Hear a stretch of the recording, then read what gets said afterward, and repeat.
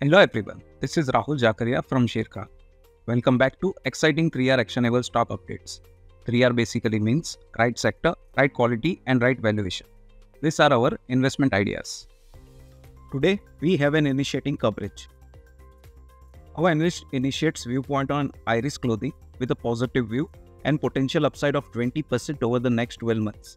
Iris is a fast growing kids apparel company with strong growth potential driven by tie-up with Disney and distribution expansion that would help revenues clock CAGR of 30% plus and volume growth of 20% plus.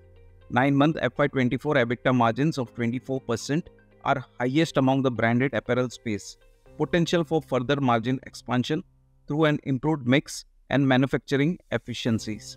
Reduction in working capital and better profitability will lead to strong improvement in the return profile with ROE standing at 33% and ROC standing at 38% in FY26 from 16% and 23% respectively in FY23. Stock trades at 25 times FY25 and 17 times FY26 estimated EPS. Next, we have an update on DLF.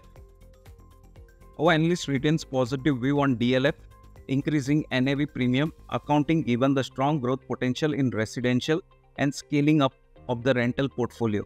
The NCR residential market continued to witness significant traction in the new unit launches and sales, which have grown 18% year on year and 10% year on year respectively during quarter 4 of calendar year 23.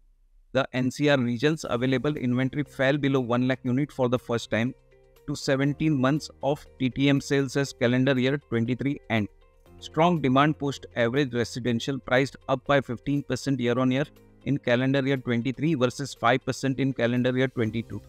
Eyeing strong demand, it has outlined a rupees 79,000 crore GDV project pipeline for the next 2 to 3 years, with two key Gurugram launches expected in FY25. Management expect FY25 sales booking to see 15% year-on-year growth as of now.